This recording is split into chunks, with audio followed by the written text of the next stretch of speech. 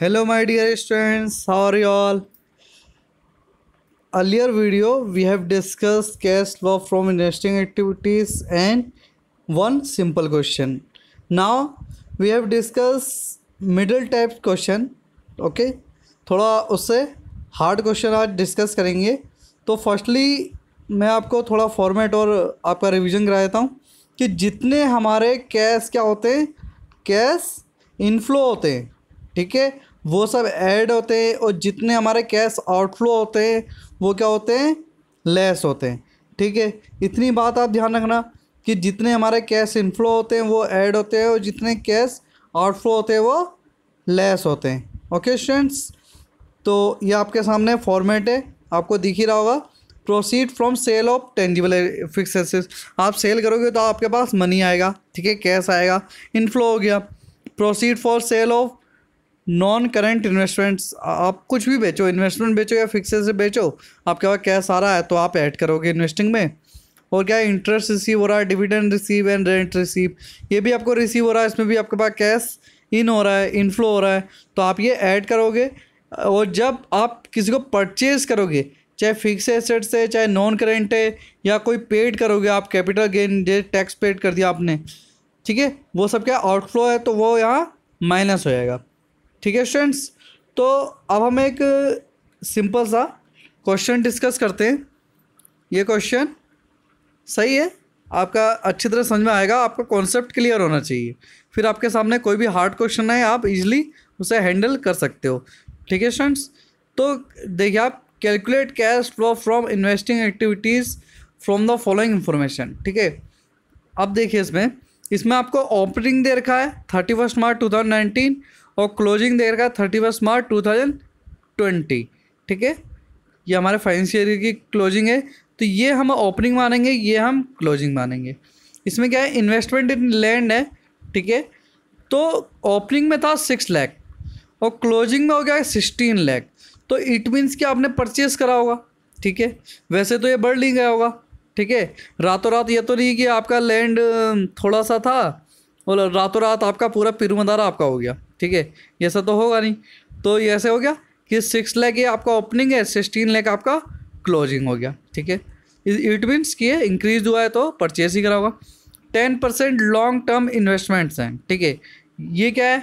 ये ओपनिंग में था आपका फोर लैख और क्लोजिंग हो गया two lakh fifty thousand it means कि आपने कहीं ना कहीं इसे डिक्रीज देख रहे हो आप तो ये सेल करा होगा आपने, ठीक है? इन्वेस्टमेंट्स कभी भी क्या होते हैं? इनमें डेप्रेशिएशन नहीं लगता है। ये क्या होते हैं?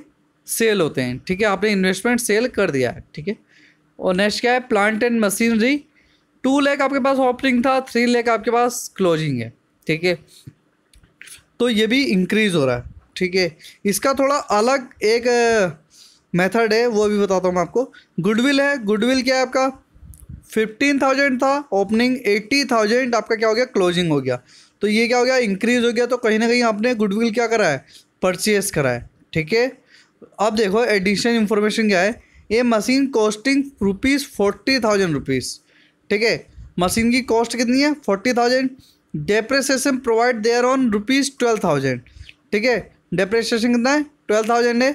वहाँ सोल्ड थर्टी फाइव थाउज़ेंड ठीक है? आपने सोल्ड करा इसे थर्टी फाइव थाउज़ेंड में।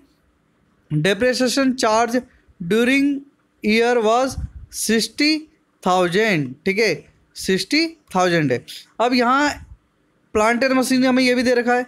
और मशीन हम यहाँ भी कैलकुलेशन उसमें कर रहे हैं, यहाँ डेप्रेशन चार्ज कर रहे हैं ड्यूरिंग द ईयर का। तो इसका हमें एक सेपरेट रेजर लेजर बनाना पड़ेगा, ठीक है? क्या बनाना पड़ेगा? लेजर बनाना पड़ेगा। जो आपने क्लास इलेवंथ में जन एंट्री सीखी थी, फिर लेजर सीखा था तो तो लेजर अकाउंट आपको इसका बनाना पड़ेगा, इसलिए हम डायरेक्ट इसे नहीं लिख सकते हैं कि ये इंक्रीज हुआ है तो हमने परचेज करा है, ठीक है? अगर बाय द वे ये नहीं दी होती है एडिशनल इन्फॉर्मेशन मशीन से मशीन के रिगार्डिंग तो हम इसको डायरेक्ट लिख सकते थे, ठीक है? एक चीज़ और है, जब यहाँ मशीन कॉस्टिंग लिखा है, ठीक है? कॉस्टिंग का मतलब है कि इतनी आपकी कॉस्ट थी, इसमें से आपको डेप्रेशन माइनस करना पड़ेगा, ठीक है? डेप्रेशिएशन क्या करना पड़ेगा? माइनस करना पड़ेगा। यहाँ क्या लिखा है? कॉस्टिंग है। कॉस्टिंग मतलब ओरिजिनल प्राइस था उसका। अगर बाय द वे यहाँ क्या होता? बुक वैल्यू होता या रिटर्न ऑफ़ होता। ठीक है? या तो बुक वैल्यू होता या रिटर्न ऑफ़ होता। तो उसमें आपका डेप्रेशिएशन इंक्लूड होता है। उसमें आपको डेप्रेशिएशन माइनस करने की ज़रूरत नहीं है। ठीक है? इसलिए यहाँ कॉस्टिंग है तो इसमें डेप्रेशिएशन आपको माइनस करना पड़ेगा। ठीक है? ये अकाउंटिंग का रूल है। हमेशा आपके काम ही आएगा। तो अब हम आ जाते हैं क्वेश्चन के सोल्यूशन पे। तो क्वेश्चन का सोल्यूशन क्या है? सबसे पहले लैंड है, ठीक है? सिक्स लैख की थी सिक्सटीन लैख का हो गया है। तो इट मीन्स कि टेन लैख का हमने परचेस करा यहाँ लिख दिया परचेस ऑफ़ लैंड आपका आउटफ्लो है, ठीक है? आपने परचेस करा है कैश आपके पास से गया है। तो आपने यहाँ माइनस की वैल्यू में से शो कर दिया है। अब देखो, ठीक है? और ब्रैकेट में भी शो कर दिया है ठीक है? Ten percent long term investments आपके। फोर लैख के थे टू लैख फिफ्टी थाउज़ेंड के रह गए। तो आपने क्या करा होगा? सेल करा होगा। ठीक है? सही सी बात है। तो sale of long term investment लिख दिया यहाँ वन लैख फिफ्टी थाउज़ेंड क्योंकि इसका डिफरेंस कितना आएगा? वन लैख फिफ्टी थाउज़ेंड आएगा। ठीक है स्टूडेंट्स अब आते हैं। अब क्या हुआ? जितने भी आपके लॉन्ग टर्म इन्वेस्टमेंट होते हैं, उसमें अगर आपको परसेंटेज दी है, ये जो टेन परसेंट दिया है तो अगर ये टेन परसेंट दिया है तो आपको उसमें उसका इंटरेस्ट निकालना पड़ेगा। ठीक है? तो यहाँ इंटरेस्ट किस पे निकालेंगे हम? जो हमने ओपनिंग में ख़रीदा है। ठीक है?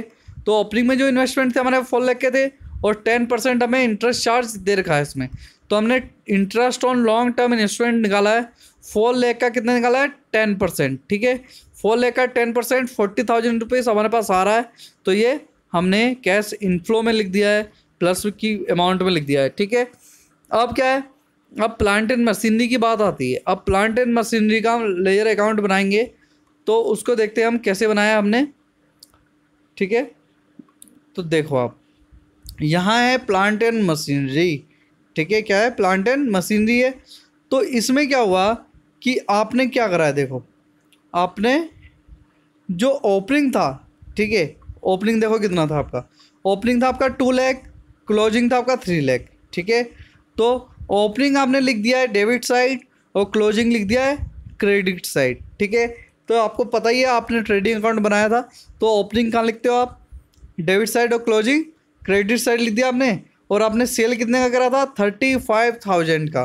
ठीक है, ये लिखा है thirty five thousand thirty five thousand का लिखा था।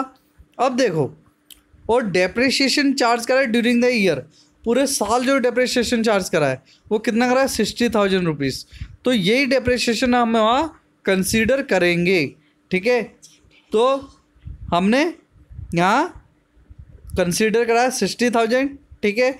और डेप्रिशिएशन आपको पता ही है। और आपने प्रीवियस ईयर पढ़ा था क्लास इलेवंथ में डेप्रिशिएशन चैप्टर पूरा का पूरा चैप्टर ही पढ़ा था आपने रिटर्न ऑफ़ ठीक है? वही है ये, ठीक है? यहाँ डेप्रेशिएशन लिख दिया हमने। यहाँ हमने क्या लिख दिया था? ये क्लोजिंग ये ओपनिंग ठीक है? अब अब यहाँ हमने कैलकुलेशन कर दी, इतने की हमने सेल करा। इतना डेप्रेशिएशन लगा, इतना हमारा क्लोजिंग था। ये टोटल आ गया three lakh ninety five thousand ठीक है? अब ये आपको डाउट हो लगा, ये सेवन थाउज़ेंड कैसे आया? अब मैं आपको बताता हूँ कैसे आया। यहाँ देखो फोर्टी थाउज़ेंड कॉस्ट थी और ट्वेल्व थाउज़ेंड है। कॉस्टिंग है ये, ठीक है? कॉस्टिंग मैंने आपको बताया था कि डेप्रिशिएशन उसमें से माइनस करेंगे हम।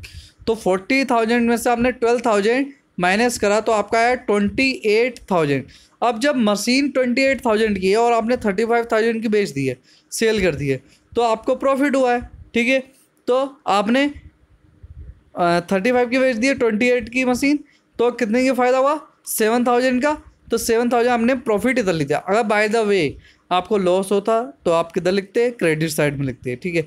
आपको ये प्रॉफिट हो गया है, आपने टोटल करा तो इसमें से माइनस करा तो आपका आ गया one lakh eighty eight thousand ठीक है, यहाँ तक बात समझ में आ गई होगी।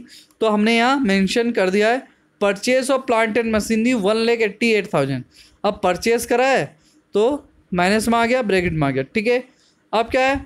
सेल भी करा है हमने प्लांट एंड मशीनरी वो कितना करा है? थर्टी फाइव थाउज़ेंड का करा है। ठीक है स्टूडेंट्स सेल करा है ना ये? थर्टी फाइव थाउज़ेंड का।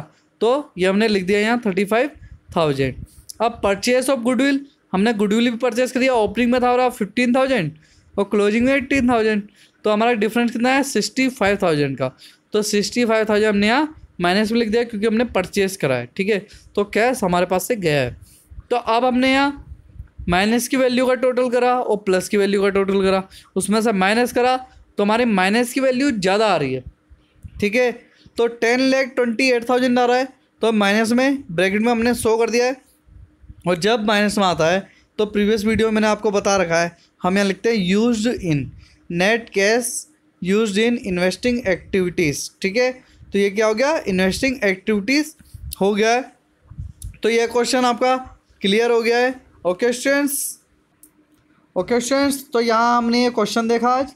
तो आप ये क्वेश्चन पूरा देखिए और समझिए और इसे अपनी फेयर नोटबुक पे करिए, ठीक है स्टूडेंट्स और कोई भी क्वेरी हो तो डिस्क्रिप्शन में मेरा व्हाट्सअप नंबर आपको मिल जाएगा और आप मुझसे व्हाट्सअप पे पूछ सकते हो, ठीक है? तो हमारा पर्पज़ यही है कि आपको ऑनलाइन स्टडी कराई जाए और आपको अच्छा स्कोर कराया जाए बोर्ड एग्ज़ाम में, ठीक है? तो यह भी हमारा इन्वेस्टिंग का था तो इसके कुछ हार्ड क्वेश्चन हम आगे भी देखेंगे। Okay students thank you for watching